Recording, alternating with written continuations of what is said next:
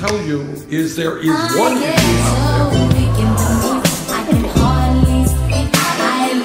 out there.